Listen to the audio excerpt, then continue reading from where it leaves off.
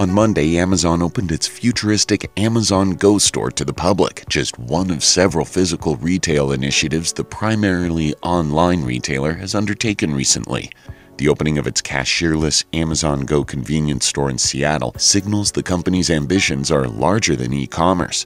With no lines or checkout process, the store uses cameras and sensors to track what you put in your basket. It then charges you through your Amazon account.